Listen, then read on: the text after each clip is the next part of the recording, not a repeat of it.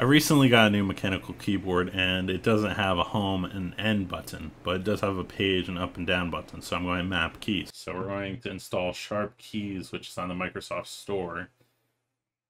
I use the home key and the end key a lot when I'm programming. So what I mean is, is that when I have my cursor here at one end of text, I use I hold shift down and press end to get to the end of a line of text if I use the page down, I'm just highlighting a bunch of code.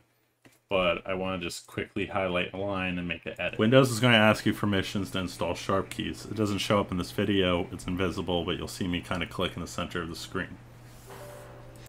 So I wasn't paying attention, but you're going to have to activate to allow this download to continue. Okay, now it's installed. Let's bring sharp keys up. Yeah. Yes.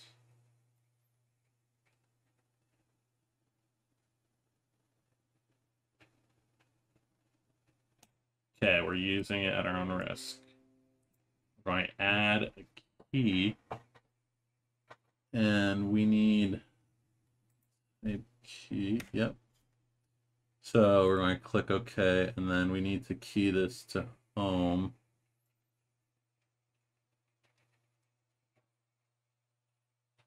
Home.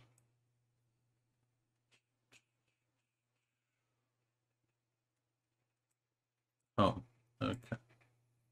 So then we need to add down key down. We're going to do end instead. Uh, home, refresh, stop. Oh wait, that's the web, so that's completely wrong. Um, we're kind of looking for...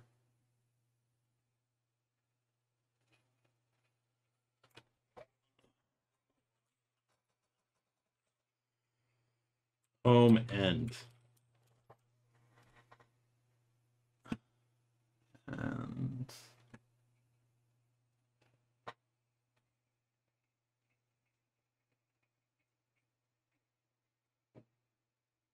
Volume up, mute webcam.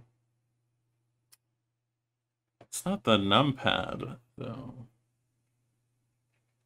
Oh, there it is. Okay, so we need to edit this um, because that's not right.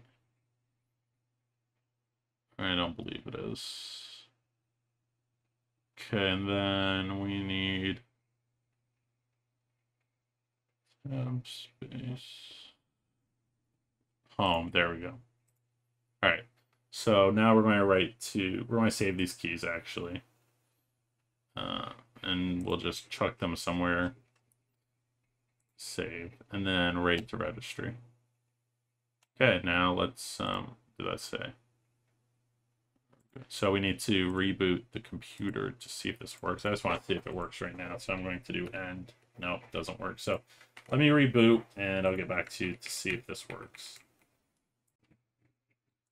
Okay, so now you can see that my end button works. And if I go to the end of the line, I do my page up, it works like a home button. Instead of moving up and down a page, I'm moving across the line. So we've successfully remapped our keys with Sharp Keys.